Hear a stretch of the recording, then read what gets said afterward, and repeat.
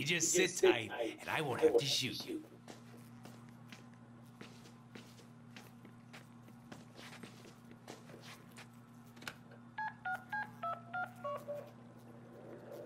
Nolan, hey, what's up, buddy? We're making a game about me. We Gotta have you do the VO, man.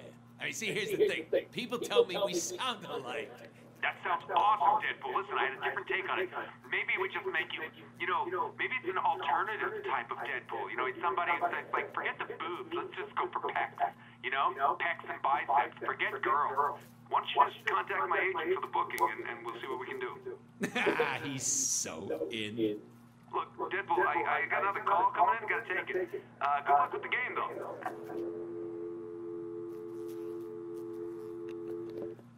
Yeah, well, fuck you, Nolan.